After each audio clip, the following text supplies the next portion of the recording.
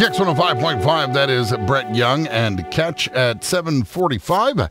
And uh, as he joins us every Wednesday, about 10 minutes until 8 o'clock, uh, he's a little early today, but we've got a lot of things to talk about. I got a little list for you today, bro. How we doing? Oh my goodness. I'm good. How are you? Doing well. It's Mike Barrett from Barrett Insurance Agency. Look, I just gave you three bells to start your Wednesday. See, buddy? Man, so many so many angels just got their wings. It's an awesome day. so, uh, my first and foremost question is uh, as you and I have talked, my son turned 18. And is there any way that uh, parents can CYA? You know what that means, right? C- No. CYA, cover your backside. If you have, Oh, gotcha. if you have Yeah. teenage drivers, is there anything we can do uh, to help ourselves in case a child should happen to crash their vehicle?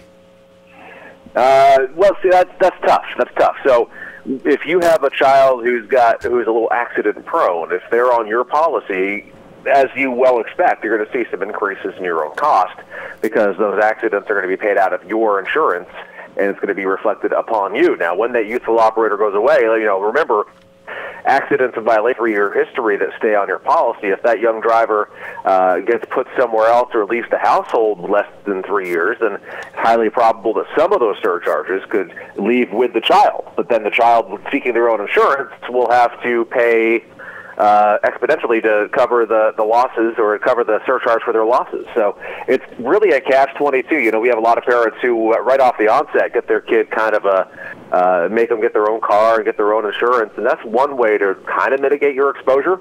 But remember, if you have a household member who's got a horrible driving record, uh, that could come back against you on your own because a lot of insurance companies use your whole household as a means of, of getting rate. Well, when the uh, paramedics show up at the scene of the crash, I just go, ah, he's adopted. Not my car. You you say that uh, getting renters insurance uh, with having a young person is beneficial for them. Say they move out at 18, 19 years old, um, and and we've discussed that 18 and 19 are worlds apart. 18 is one thing, 19 becomes much cheaper uh, because they believe that you're more responsible after three years of driving.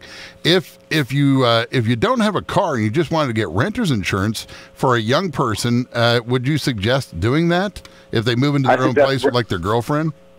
Absolutely. Anybody who lives anywhere at any time of their life should have renter's insurance. So uh, I, I would absolutely recommend that for a young person who's moving out for the first time into an apartment. You know, yes, you have very little, uh, but you have a lot to lose, if that makes sense. Right. So, well, let's say somebody gets, you know, you're having a little party at your house and somebody falls and cracks their head open or something. Would that Mm-hmm. be covered under renter's insurance or more if somebody steals something from your house or both? No, you, you both, both. Uh, so you know, somebody uh, slips and falls and cracks their head or sustains an injury in your property, just like a regular homeowner policy, a renter's policy will have liability uh, coverage for you and medical payments to others coverage, which is pretty key. Um, but more than anything, uh, the higher probability is that something could happen where maybe things are stolen or a fire occurs or water damage occurs or something happens that destroys your personal property and makes it so that you got to start all over again.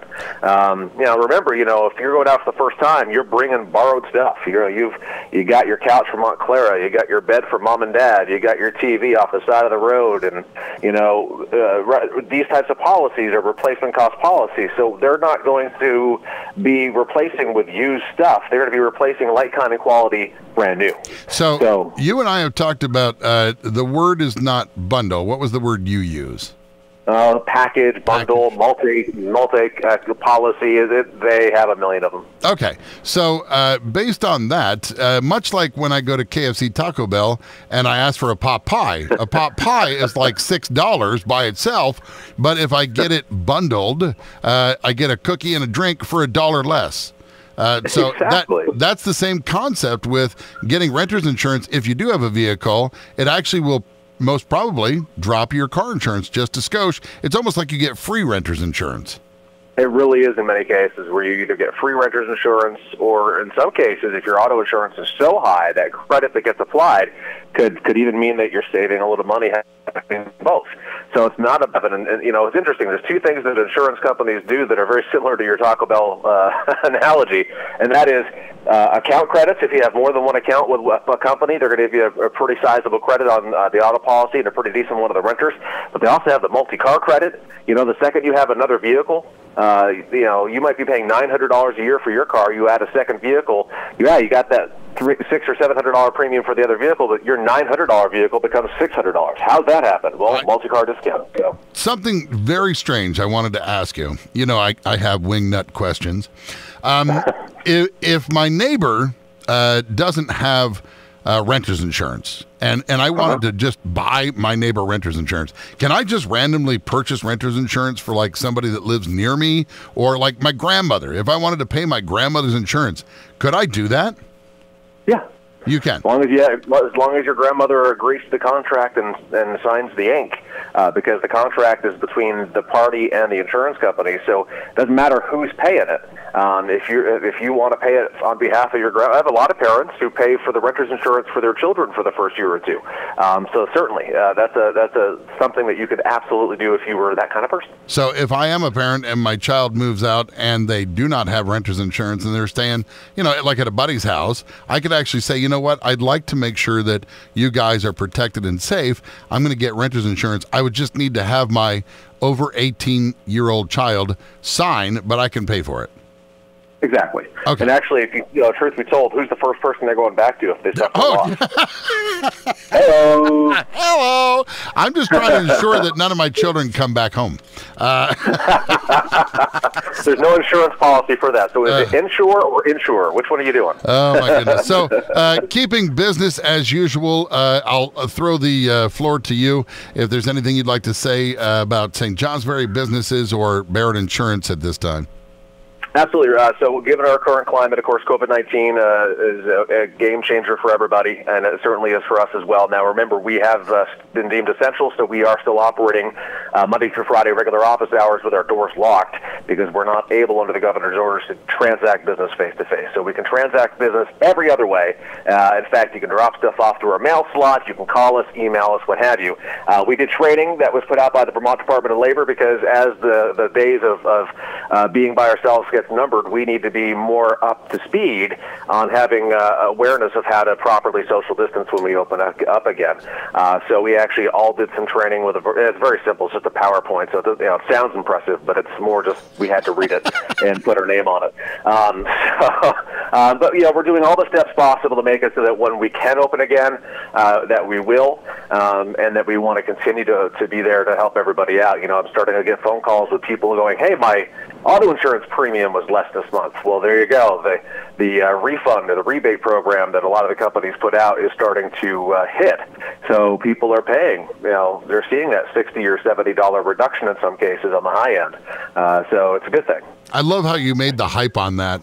You're like, but really, it's just a little PowerPoint thing. It's like no big deal. It's like when my kid came home and goes, "Look at my amazing art project." I'm like, that is a shoebox with some cotton swabs and a dinosaur. I don't know what that is, but it's not satisfying. And it's still on your refrigerator and hits you in the head every time you grab the milk. It's the centerpiece of my home. Oh my goodness. Well, uh, if you would like to talk to Mike about uh, renters insurance, car insurance, uh, putting things together, packaging, uh, your young young people, your old people, anything. He's always willing to talk. And of course, uh, most of the time, he finds that you could save money through switching to Barrett Insurance Agency. If you'd like to call and talk to Mike, you can do so by buzzing him up at 748-5224. You can uh, stop by and wave to us through our windows on Portland Street in St. Johnsbury. We are online at barrettagency.com. Google, Facebook, and YouTube is all Barrett Insurance Agency. Oh, it, when you hear those obnoxious honks, that's me. Oh, well, yeah. we assume. Yeah, I've been doing that because you're on my way home and to work. Uh, and when somebody moons you out my window, that means my wife's driving. So, Mike, I hope you have a great Wednesday. I'll talk to you next week. All right. Be well, or be better, or do something. I don't know. Bye.